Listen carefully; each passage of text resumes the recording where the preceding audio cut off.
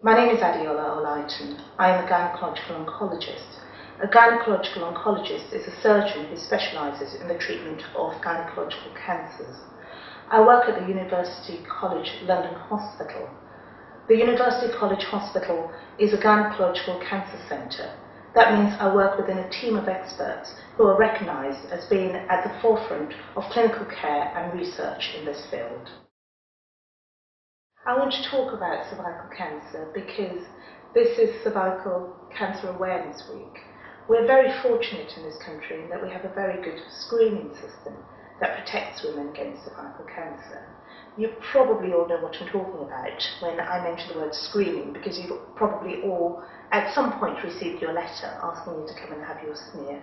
Now don't file that letter away, go and have your smear because it is really important the reason why smears can protect against cervical cancer is that there are changes, there can be changes in the cervix, which are not cancer, but if left undetected for many years, can develop into cervical cancer.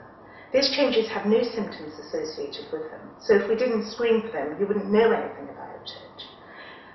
Screening is done by a simple process of taking cells off the surface of the cervix so the doctor or nurse will look at the cervix with a small instrument and with a soft brush take some cells off the surface which are sent to the lab to be analysed.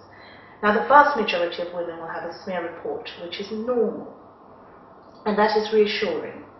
Occasionally you will come, your, your letter will come back saying that your smear is abnormal. This is nothing to panic about because these changes can be treated completely. Now the first thing to recognise is that a smear is only a screening test. So if you have a negative smear, it says that you are likely not to have a problem with the cervix. If you have an abnormal smear, it says that you're highly likely to have a problem with your cervix. And then you are referred for the specific test, which is called colposcopy. Colposcopy is not dissimilar to having a smear done. It's the same instrument looking at the cervix, but in addition, the doctor will look at your cervix with a magnifying device, which will show up if there are any suspicious areas and the doctor may then want to take a sample from these areas. That's sent to the lab, and if the lab confirms that there is an